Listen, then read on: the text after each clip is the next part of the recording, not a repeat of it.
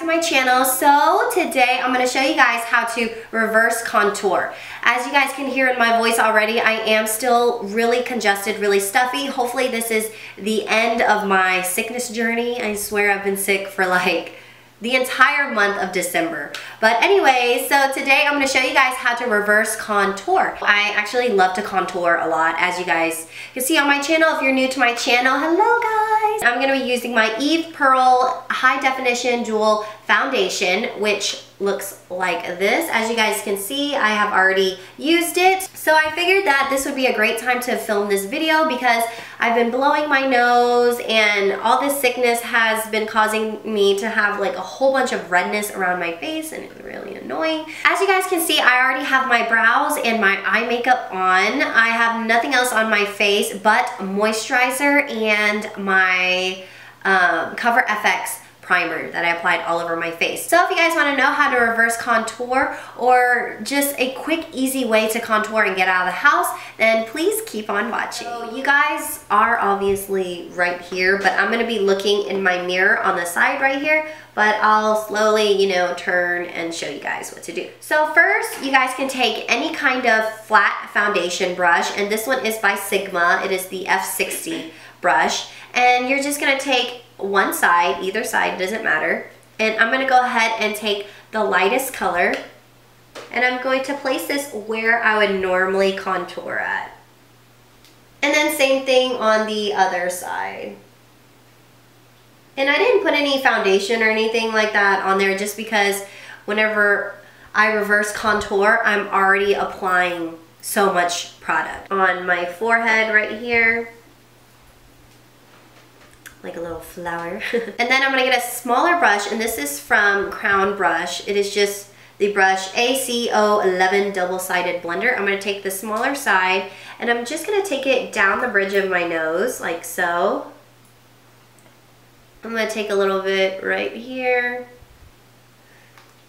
a little bit on my chin here, on the side of my mouth, and just slightly a few dots on the side here. I'm gonna take the darker side and I'm gonna go in with the same crown brush and I'm actually going to lay this on top right here. As you guys can see, it definitely is a lot darker. You want to lay it like where you put your blush at pretty much. And once you blend all this out, it's just definitely just going to cover up any kind of discoloration. What I'm to do now is I'm to take a little bit on the sides right here. And I don't like to really swipe just because I feel like it's easier to blend and I don't think I have that much of a big forehead. So it should be good. And I'm just going to take a little bit just slightly on the side like so. And the sides of your nose can be a little tricky. I don't know. I'm starting to contour a lot around my nose, but sometimes it can look not that natural. So you want to just slightly take it like so. And as you guys can see, I have a little bit of redness around my nose. So I'm going to go ahead and go back in with that foundation brush and just grab the sides of my nose. And this is really quick. Pretty much you're foundationing, foundationing, pretty much you're just applying your face, but just skipping a few steps. And of course, I almost forgot. How can I forget? You want to just highlight underneath your eyes like so. Usually under my eyes, I do go a little lighter, but for this tutorial, I'm just going to go with what I got. So what we're going to do now is we're just going to go ahead and blend everything out. I'm going to go ahead and blend all the light stuff and then we're going to blend the contour out. So first I like to start off with my forehead and I'm just using bouncing motions and just going down the bridge of my nose. And you just want to pounce, you don't want to move the product.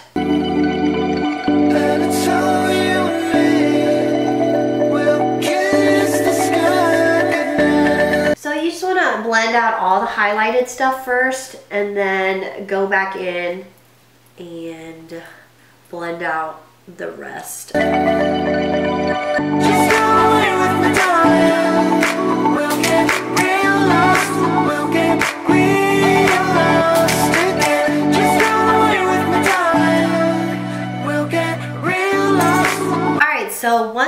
Done, you just wanna let it dry for a little bit. And then I'm gonna go in with my Laura Mercier translucent powder and I have to set my under eyes or else it will crease. And I'm gonna cook it just for a little bit or bake or however you guys wanna call it.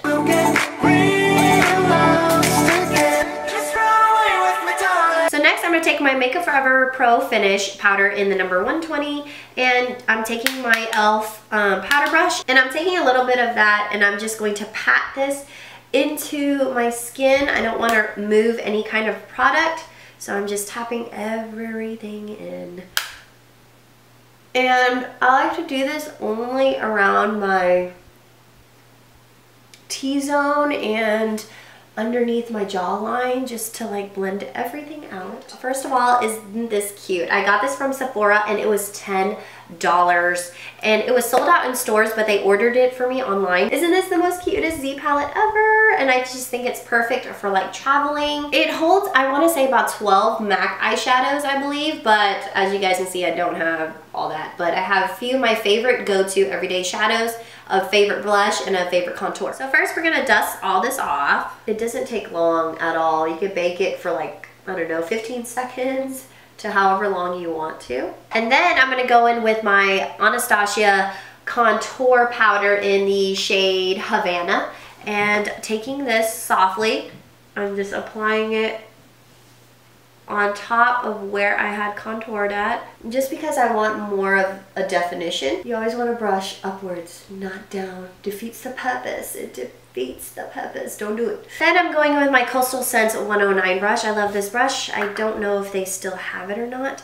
And I'm going to slightly brush this on like my hairlines pretty much and my temples. And of course taking a little bit on the sides of your jawline and I like to go like way underneath. I don't really like to slap it on right there. Then I'm to go in with blush. I'm taking my MAC 159 brush. I love this brush. And I'm also to use uh, Makeup Geek's Infatuation blush.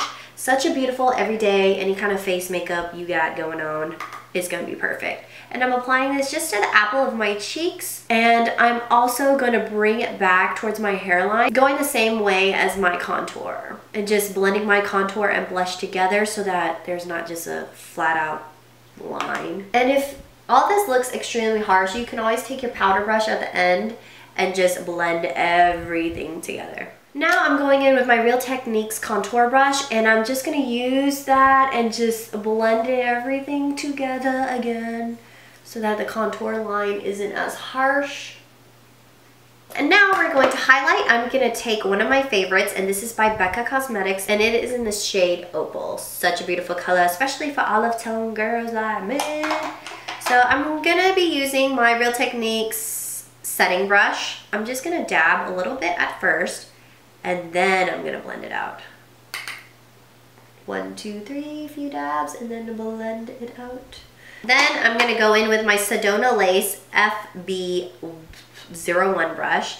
And I'm just to dip it in one more time. And I love this brush. I feel like it just blends everything out so beautifully.